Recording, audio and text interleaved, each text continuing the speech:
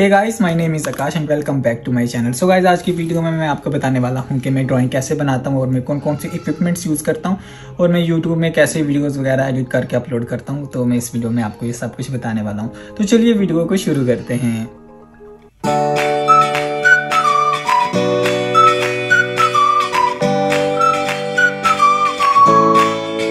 Okay guys ये है वो जगह जहाँ पे मैं ड्राइंग वगैरह बनाता हूँ। ये टेबल है और देख सकते हैं। ये कलर्स वगैरह हैं जो मैं यूज़ करता हूँ और ये मैंने कुछ ड्राइंग्स बनाई हुई हैं। और इसके बाद ये कलर्स वगैरह जो यूज़ करता हूँ इस टेबल में। और ये है वो टेबल और उसके बाद मैं यह यूज़ करता हूँ एक रिंग लाइट और ज़्यादातर नेचुरल लाइट जो है उससे वीडियो ज़्यादा अच्छी बनती है। इसलिए जो विंडो के बिल्कुल सामने मैंने टेबल रखा हुआ है, ताकि यहाँ पे लाइट वगैरह जो है वो अच्छी आए। इसके बाद मैं आपको बताता हूँ कि मैं एक यूज़ करता हूँ ट्राईपोर्ड ऐसे और डी एस एल आर ये ट्राईपोर्ड पे लगा के फिर मैं ऐसे इसके साथ इस अटैच करके फिर ऐसे नीचे ड्राइंग बनाता हूँ। और ये कैमरा जो मैं यूज़ कर रहा हूँ, ये है कैनन 800D और इसमें मैं वीडियोज़ वगैरह बनाता हूँ। ये है वो जगह जहाँ पे मैं एडिटिंग करता हूँ। और ये है जो यूट्यूब का बटन और अभी ये जो वॉल है, ये पूरी खाली है, ये मैंने फिल कर देनी है। कुछ लगा के पेंटिंग्स वगैरह ये अपनी। उसके बाद ये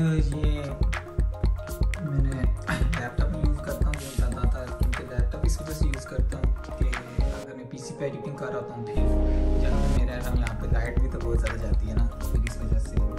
तो लैपटॉप में जो एडिटिंग के लिए मैं सॉफ्टवेयर यूज़ करता हूँ जो मुझे सबसे ज़्यादा इजी लगता था, वो वो था पहले फिल्मोरा, लेकिन अब फिल्मोरा मुझे इतना नहीं लग रहा। कि ना, फिल्मोरा मुझे आप इस वजह से नहीं मैं इतना ज़्यादा यूज़ कर रहा, क्योंकि अब फिल्मोरा की जगह पे एक नई चीज़ आ गई है। और एक नई ऐप आ गई है, जिसने इतना ज़्यादा आसान बना दिया है। कैप कट जो मोबाइल में मैं यूज़ किया करता था, और अब वो पी के लिए भी बन गया है। मैं इसी चीज़ का इंतज़ार कर रहा था कि पी कब बनेगा। अब न्यू वर्जन भी आ गया। अभी तो अपडेट किया था फिर से आ गया इसी वाला में ये ये ज़्यादा अच्छा लगा मतलब सेम मोबाइल वाला सब कुछ। और इतना कुछ फ्री में हमें मिल रहा है। और इतना इसका इंटरफेस है। और सारे इफ़ेक्ट वगैरह जो है, वो भी हमें मिल रहे हैं फ्री में, सब कुछ फ्री में। और सबसे बड़ी बात तो इसमें कोई वो वाटर मार्क वगैरह नहीं है तो फिर हम आसानी से यूज़ कर सकते हैं। इसलिए फिर क्या ज़रूरत है ऐसे दूसरे सॉफ्टवेयर की?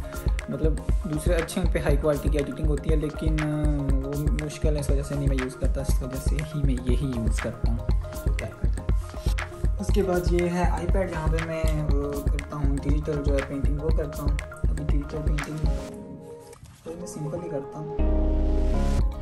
इसमें मैं करता हूँ, और आईपैड है तो फिर आपको पता ही है, ज़्यादातर कौन से लोग यूज़ क्या करते हैं प्रो क्रिएट यूज़ करता हूँ। पहले मैं यूज़ किया करता था स्केच बुक वाला तो स्केच बुक वाला तो ये पहले, सबसे पहले मैं स्केच बुक यूज़ किया करता था, और ये एप्पल पेंसिल में यूज़ करता हूँ, क्योंकि ये आईपैड के लिए एप्पल पेंसिल हिसाब से सही है। और मतलब ये मुझे बहुत अच्छा सॉफ्टवेयर लगता है, मैंने बहुत सालों तक ये यूज़ किया। अब मैं, अब इसकी तरफ़ आना चाह रहा हूँ प्रो क्रिएट की तरफ़। ये मुझे सीखना पड़ेगा, अभी अभी मुझे इतना आता नहीं खास पर ये है कि ये भी ईजी है। तो मैं अब ये यूज़ करूँगा। और ये था तो इसमें थंबनेल वगैरह इस तरह की चीज़ें बन जाती हैं। सो गाइज़ अब मैं आपको बताता हूँ कि मैं थंबनेल कैसे बनाता हूँ यूट्यूब का। तो थंबनेल बनाने के लिए जो मैं सॉफ्टवेयर यूज़ करता हूँ, वो है फ़ोटोशॉप और फ़ोटोशॉप आपको सीखना पड़ेगा, क्योंकि फ़ोटोशॉप में ही अच्छे अच्छे थंबनेल बनते हैं। और जितने अच्छे थंबनेल बनेंगे, तभी आपके व्यूज़ भी अच्छे अच्छे आएँगे ना। क्योंकि थंबनेल तो मेन चीज़ है, वो आप अच्छे रखेंगे तो तभी तो आपके अच्छे अच्छे से व्यूज़ आएँगे। तो इसलिए आपको सबसे पहले तो फोटोशॉप सीखना पड़ेगा और अगर आप मतलब आपके पास नहीं है पीसी नहीं है, आप फोटोशॉप नहीं मतलब यूज़ कर सकते तो फिर इसलिए आप मोबाइल में कुछ यूज़ कर लें। मोबाइल में भी बहुत सी एप्लीकेशन ऐसी हैं, जैसे पिक्स हो गया, उसके बाद इन ऐप होगी, इसमें आप यूज़ करके थंबनेल बना सकते हैं। सो so गाइज़ ये था मेरा सेटअप जो कि मैं यूज़ करता हूँ ड्राइंग बनाने के लिए। और अगर आप अभी स्टार्टिंग में तो आप अपने मोबाइल में भी वीडियोस बना सकते हैं। मोबाइल में भी काफ़ी अच्छी आ जाती हैं वीडियोस मैं तो इस वजह से फिर डी में बना रहा हूँ, क्योंकि अब मेरे पास डीएसएलआर है, तभी मैं कह रहा हूँ कि उसमें बना लूँ। नहीं तो अगर ना भी होता तो मैं मोबाइल में ही बनाता, क्योंकि मोबाइल में ज़्यादा मोबाइल में भी अच्छी आ जाती है। और बस यही था सेटअप सो आई होप कि आपको ये वीडियो पसंद आई होगी और अगर आपको ये वीडियो पसंद आई है तो मेरी वीडियो को लाइक करें मेरे चैनल को सब्सक्राइब करें और साइड में बने हुए बेल के आइकन पर भी क्लिक करें और अब हम आपको मिलते हैं अपनी नेक्स्ट वीडियो में।